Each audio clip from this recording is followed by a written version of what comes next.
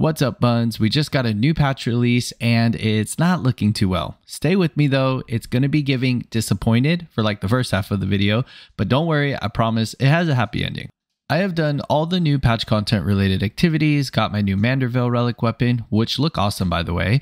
Desperius does an amazing showcase of this on his channel every time these come out, so I'll link that below for you guys. I worked on the crafting gathering tools that came out and dived into floor 30 of the new Deep Dungeon Eureka Orthos on stream earlier today actually. With doing all these, I can now confidently say without a doubt, this is just one big old letdown. And going through Reddit and just as far as my personal Bunboss Discord, a lot of people feel the same way. Now, I don't mind personally when patches don't have a lot of content. There is so much to do in game, so that's quite okay when it's just minor updates here and there. This patch was a little different, however, and probably overhyped, which is what I think caused kind of the community letdown to begin with. Personally, a lot of my friends in Final Fantasy and in Discord were really looking forward to the next Manderville Relic step. And it's literally just the same step as step one 1500 tomestones of astronomy again. So, hunt trains are going to be popping for the next month or duty roulettes while people grind this out. The thing is, I just got done grinding hunt trains for a month to get all the tomestones needed for all 19 weapons. So it kind of feels like I'm just having to hit the rewind button and do the same thing all over until the next batch. A free 630 weapon, I'll take Monday through Sunday, but on a brand new piece of relic content, I kind of felt like the mark was missed or the creativity was lacking in the department. I don't know if they were relying too heavily on the Hildebrand side quest, which I could take or leave. It's not my personal favorite series, but some people do love it. And there was only two times in this patch content that I was like, oh shit, this is cool. And one of them was the instance fight for Hildebrand. If you know, you know. I do have to give it to them. That was really, really fun and interesting. After that, I moved on to crafter tools. I had a lot of scrips to take on the first carpenter's tool.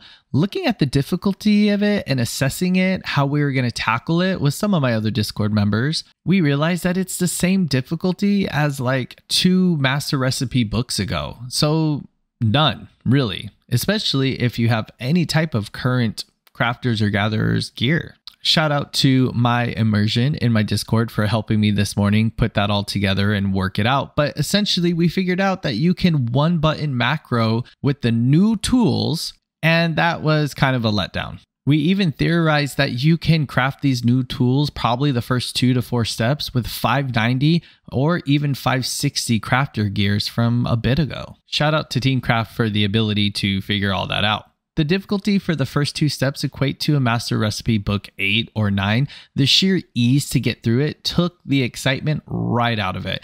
We just got done white scrip gathering to make all of our gatherers gear, and we essentially just go right back into white scrip gathering, as you need those in order to purchase the weapon and to get the materials for each of the crafts. Again, it kind of feels like you just hit the rewind button.